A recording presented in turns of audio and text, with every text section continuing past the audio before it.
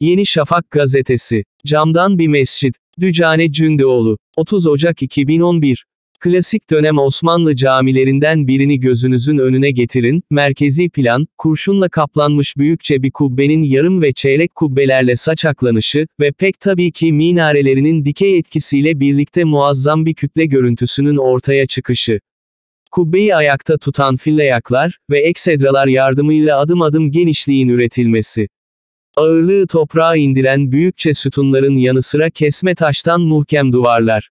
Met deyince işte zihnimizde oluşan dış görüntü hemen hemen böyle bir şey. Belki birkaç ayrıntı daha, avlusu, şadırvanı, mükebbiresi, kuş sarayları. İç mekanın mihrabı, minberi, mahfili, avizeleri, vesaire. Ortaçağ, da gotik katedraller, Osmanlı, da Sinan, ne klasikleşmiş camileri, bir devrin, bir çağın sembolü her ikisi de.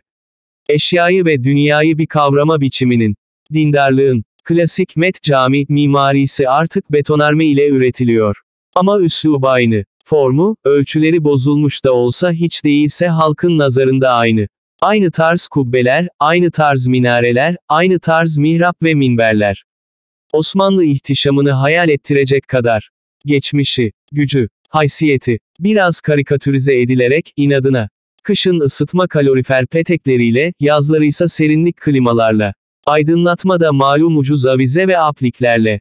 Eh bir de şu zamanı ölçen saatler. Polyester halıları hiç sormayın, sunta ayakkabılıkları, ekonomik spiral ampulleri. Ezilen ve aşağılanan bir halkın direnişi. Taşra estetiği. Eskiden binalarda üst üste iki pencere yapılırdı.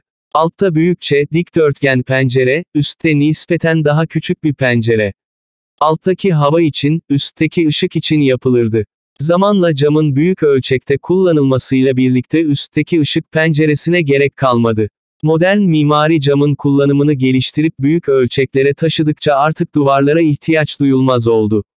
Çünkü çelik kolonlar ve kirişler sayesinde yapının yükünü duvarlara aktarmanın anlamı kalmadı. Duvarın taşıyıcı fonksiyonu sona erdi. Beton kollarında, cam duvarlarda pencere kavramının değişmesine yol açtı.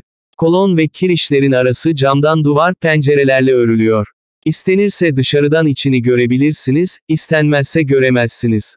İç dekorasyon da değişti, daha da değişecek, zorunlu olarak. Asar-ı Atika ve Asar-ı Nefiz denilen şeyler milli servetin ya toprağa gömülü yahut toprağa dikili ve canlı kısmı iken, bunları görebilmek ancak terbiye edilmiş gözlere, sevebilmek ancak yayın siyaki bir göreneğe yahut geniş manasıyla şuurlu bir milli kültüre ve hissedebilmek bir nevi ihtisasa ihtiyaç gösterdiğinden, bu milli servet hazinemizin eskiden beri mevcudiyeti anlaşılamamış, inkar edilmiş ve daha fenası sahipsiz ve bakımsız bir halde bırakılarak yağma ve tahrip edilmiştir. 1933, te böyle yazıyor Abdülhak Şinasi Hisar. Haklı olarak o yıllarda toplumun sanatsal duyarlılıktan yoksun oluşunu kişisel, toplumsal, kurumsal açıdan eğitim eksikliğiyle açıklıyor. Çünkü eski ya da yeni, insanla güzel sanatlar arasındaki ilişki biçimini üç sözcükle tanımlıyor. A. Görmek, B. Sevmek, C. Hissetmek. Görmek için gereken, terbiye edilmiş gözler, kişisel. Sevmek için gereken, insiyaki bir görenek yahut şuurlu bir milli kültür, toplumsal. Hissetmek için gerekense, bir nevi ihtisas, kurumsal.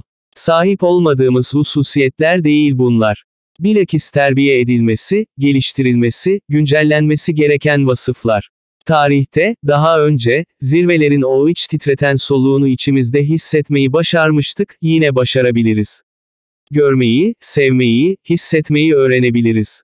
Bakışımızı, duyuşumuzu terbiye etmeyi becerebilirsek dünyayı farklı biçimlerde kavrayacak bir üst duyarlılığa da pekala sahip olabiliriz.